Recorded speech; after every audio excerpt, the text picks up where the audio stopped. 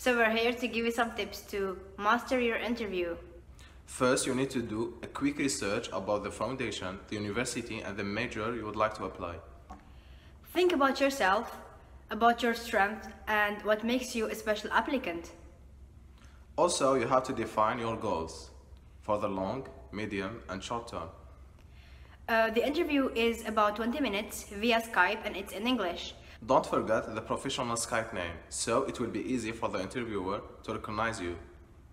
Always remember that location is the key, so you have to choose a calm place with a good lighting. Be confident, be yourself, and keep smiling all the time. Don't stress, the jury are such an amazing people. So we hope this video was helpful. We wish you best of of luck. luck. Make sure to go over the application thoroughly before taking the interview, especially the essays and the video you filmed about yourself, because you could be asked questions about them. As a previous applicant, I congratulate you on being shortlisted, and I advise you to take the interview very seriously. Good luck! First of all, congratulations for being shortlisted. You are now a step away from being our colleague next academic year. First, make sure to show that the Foundation's fund is going to be an investment in the future of our region by illustrating how you are going to leave a positive impact by using your own skills and abilities in studying this specific major. Second, do not panic. Imagine that you are speaking with a friend about your future goals and ambition. Third, the surrounding environment of the interview is very important, so make sure to have a stable internet connection and a, a, a quiet place in order to make the interview is, uh, flow smoothly. And do not forget to try to simulate this environment with a family member or a friend.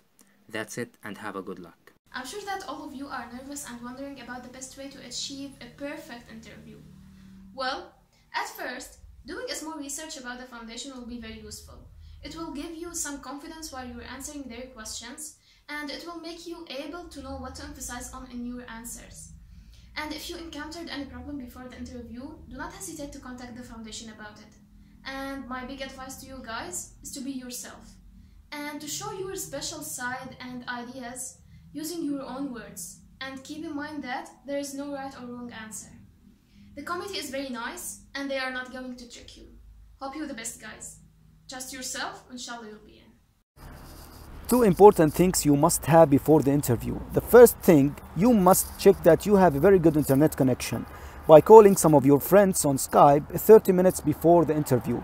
The second and the most important thing that you must show that to be confident. If you are confident, you will be able to answer all the questions in a clever way and in a short time. Just be yourself, believe in yourself that you can do it, and you will do it. Now, an encouraging message to the current applicants uh, before the interview, take a deep breath and consider it as a regular chat. The interviewers are really friendly and it will go just fine, so don't stress out too much. It will go just fine, and I hope you will all get accepted. Hi there. Congratulations on being shortlisted for the interview for Al Ghurair Foundation STEM program. Do not ever stress out because talking to them is so lovable. It is so like you will have fun in the conversation. It's a conversation. It's not an interview. So do not even think about stressing out. Good luck and hopefully we will meet there.